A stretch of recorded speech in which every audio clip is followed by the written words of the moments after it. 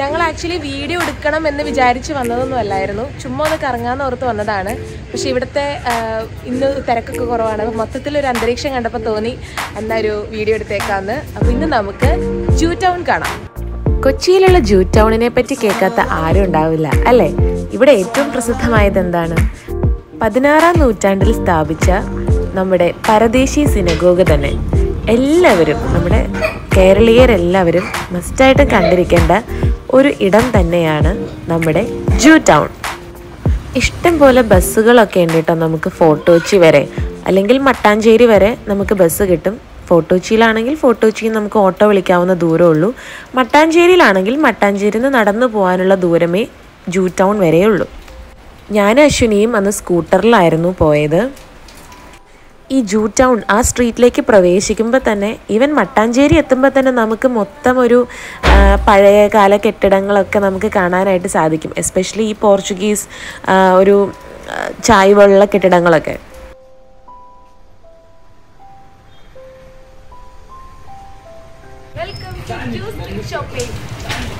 On voice record ചെയ്യാമെന്ന് നോക്കിയിട്ട് മൈക്കില്ലാത്തതുകൊണ്ട് ഭയങ്കര നോയിസ് ആയിരുന്നു പുറത്തുനിന്ന്. അതുകൊണ്ടാണ് വീഡിയോ എടുത്തിട്ട് നമുക്ക് എല്ലാ തവണത്തെ പോലെ വോയിസ് ഓവർ തന്നെ കൊടുക്കാമെന്ന് ഓർത്തത് അപ്പോൾ നമുക്ക് ഇവിടെ മെയിനായിട്ട് ഷോപ്പിംഗ് ആണ്. ഷോപ്പിങ്ങിൽ പ്രധാനമായിട്ട് വരുന്ന ആന്റിക് സാധനങ്ങൾ ഒരുപാട് വിൽക്കുന്ന ഷോപ്സ് അവിടെയുണ്ട്. ഇപ്പോൾ നമ്മൾ ഈ കണ്ടത് ഏഷ്യയിലെ ഏറ്റവും വലിയ വാർപ്പാണ്. രണ്ടായിരത്തി പതിനാലിലോ മറ്റോ ഒരു കൂട്ടം ആർട്ടിസാൻസ് ചേർന്ന് ഉണ്ടാക്കിയതാണ് ആ വലിയ വാർപ്പ്. അതുപോലെ ഒരുപാട് എത്തനിക് ആയിട്ടുള്ള ആന്റിക് ആയിട്ടുള്ള സാധനങ്ങൾ പ്രദർശിപ്പിച്ചിരിക്കുന്ന മ്യൂസിയങ്ങൾ ഉൾപ്പെടെ അതുപോലെ മേടിക്കാൻ പറ്റുന്ന ഷോപ്സും അവിടെയുണ്ട്. കൂടാതെ ഇതുപോലത്തെ ചിക്കൻ കാരി ഇന്ത്യൻ എത്തനിക് വീവ്സിന്റെ ഡ്രസ്സസും സാരീസും ഒക്കെ കിട്ടുന്ന കടകളും ഇവിടെയുണ്ട്. കണ്ടോ സൈഡിൽ കാണാം ബാഗ് ഷോപ്സ് ഒക്കെ. പക്ഷെ അത്യാവശ്യം വിലയുണ്ട് കേട്ടോ. നമ്മൾ പൈസയൊക്കെ ചോദിക്കുമ്പോൾ അവർ നല്ല വില കൂട്ടിയാണ് പറയുന്നത്. എനിക്ക് തോന്നുന്നു കുറച്ചൊരു ടൂറിസ്റ്റി പ്ലേസ് ആയതുകൊണ്ട് അവർ ഇച്ചിരി വില കൂട്ടി പറയുന്നതാണെന്ന്. പക്ഷെ നമ്മൾ കുറച്ച് മലയാളിയാണ് ചേട്ടാ. കുറച്ച് കുറച്ചതാണെന്നൊക്കെ പറഞ്ഞ് നമ്മളൊന്ന് കാലൊക്കെ പിടിച്ചാൽ അവർ നല്ല രീതിയിൽ കുറച്ച് തരും.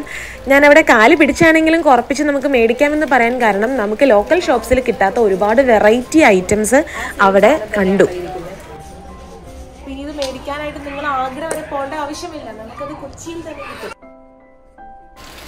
ഇത്തരത്തിലുള്ള ഈ കാശ്മീരി ഷോൾസ് അതുപോലെ കണ്ടോ നല്ല ജ്വല്ലറീസ് ഒക്കെ അവിടെ ഉണ്ട് കുറച്ച് എത്തനിക് ടച്ച് ആന്റിക് ഉള്ള സാധനങ്ങളാണ്. പക്ഷേ എങ്കിലും നമുക്ക് സ്റ്റൈൽ ചെയ്യാനായിട്ടൊക്കെ നല്ല രീതിയിൽ ഉപയോഗിക്കാനായിട്ട് പറ്റും. ഇതിനൊക്കെ ഒരു വില അവർ പറഞ്ഞത് ഒരു അഞ്ഞൂറ് അറുന്നൂറൊക്കെയാണ്. നമുക്കൊരു ഇരുന്നൂറ് ഇരുന്നൂറ്റമ്പതിലൊക്കെ പിടിച്ച് എങ്ങനെയെങ്കിലുമൊക്കെ ഒന്ന് കാൽ പിടിച്ച് വാങ്ങിക്കാം.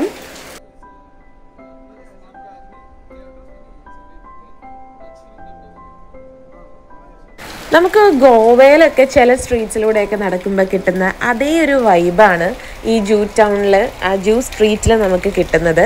ഈ നമുക്ക് നേരെ കാണാം ആ വഴി. ആ വഴി എൻഡ് ചെയ്യുന്നത് നമ്മുടെ സിനഗോഗിലാണ് അപ്പോൾ ഞങ്ങൾ ഒരു സൈഡിൽ നിന്ന് ഇങ്ങനെ ഷോപ്സിലൂടെ കയറി ഇറങ്ങി സിനഗോഗിലെത്തി അത് കണ്ട് അപ്പുറത്തെ സൈഡിലെ ഷോപ്സിലൂടെ കയറി ഇറങ്ങിയാണ് തിരിച്ചു വന്നത്. എനിക്ക് ആക്ച്വലി ഈ ബ്ലാക്ക് കളറുള്ള അതൊരു തരം ടസറിന്റെ പോലത്തെ ഒരു കുർത്തയാണ്. എനിക്കത് ഇഷ്ടപ്പെട്ടു കേട്ടോ ബ്ലാക്കും ഓറഞ്ചും ആ കോമ്പിനേഷൻ ഈ ആന്റിക്കായിട്ടുള്ള സാധനങ്ങളോടൊക്കെ ഒത്തിരി ഇഷ്ടം ഭ്രമമൊക്കെ ഉള്ള ആൾക്കാർക്ക് പറ്റിയ ഒരു സാറ്റിസ്ഫാക്ഷൻ നമുക്ക് ഈ ജ്യൂസ് സ്ട്രീറ്റിൽ നിന്നും കിട്ടും.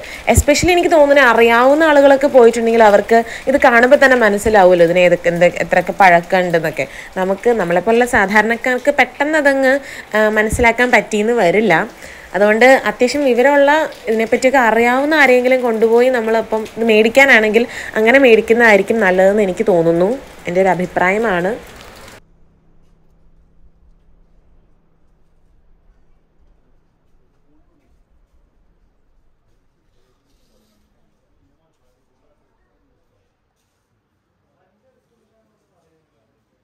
അങ്ങനെ നമ്മൾ നടന്ന് നടന്ന് സിനഗോഗ് എത്തി.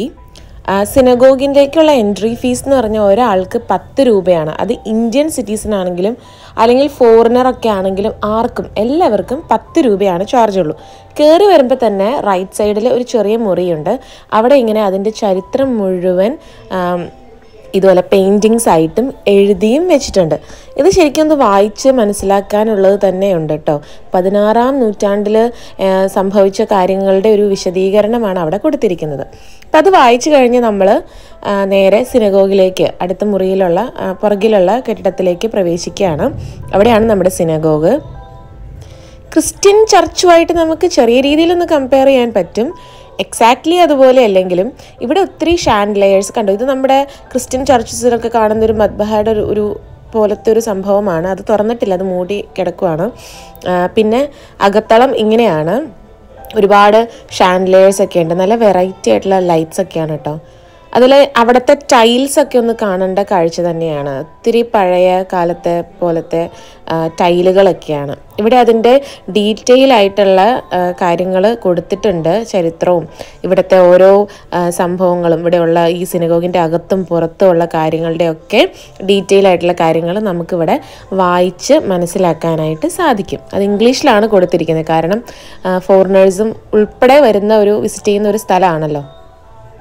അപ്പം അതിന്റെ പുറത്തേക്ക് നമ്മൾ ഇറങ്ങുമ്പോൾ നമുക്ക് ഇതുപോലെ ചെറിയ ഫോട്ടോ സ്പോട്ട്സ് ഒക്കെ ഉണ്ട് കേട്ടോ ഇവിടെ എനിക്ക് തോന്നുന്നു വേനൽക്കാലത്താണ് നമ്മൾ വരുന്നതെങ്കിൽ ബൊഗേൺവില്ലയൊക്കെ നന്നായിട്ട് പൂത്ത് നിൽക്കുമായിരിക്കും പിന്നെ ഇത് ഇവിടെ ഞാൻ കണ്ടൊരു സംഭവം കേട്ടോ. നല്ല കോട്ടൺ പ്രിന്റഡ് ഷർട്ട്സ് ബോയ്സിന് മെൻസിനൊക്കെ പറ്റിയ കോട്ടൺ പ്രിന്റഡ് ഷർട്ട്സ് അറുന്നൂറ്റമ്പത് രൂപയൊക്കെ ഉള്ളൂ. കുറച്ചുകൂടെയൊക്കെ ഒന്ന് വില കുറച്ച് വാങ്ങാം. അതുപോലെ കുഞ്ഞു കുട്ടികൾക്ക് പറ്റിയ സ്മോക്ഡ് ആയിട്ടുള്ള ഡ്രസ്സസ് ഒക്കെ ഇവിടെയുണ്ട്. അത് അവിടെ തന്നെ ഒരു സൊസൈറ്റിയിൽ നിർമ്മിക്കുന്നതെന്നാണ് പറഞ്ഞത്. പിന്നെ വീണ്ടും നമ്മൾ ഒരുപാട് ഷോപ്സ് നമുക്ക് കാണാം. അവിടെ നമ്മൾ എടുത്തു പറയേണ്ട മറ്റൊരു ഒരു ഷോപ്പാണ് ഈ പെർഫ്യൂം ഷോപ്സ്. ഹാൻഡ് മെയ്ഡ് ചന്ദനത്തിരികൾ ഹാൻഡ് മെയ്ഡ് ആയിട്ടുള്ള ഊത് അത്തറ് പെർഫ്യൂംസ് ഒക്കെ നിർമ്മിക്കുന്ന ഷോപ്സും അവിടെയുണ്ട്.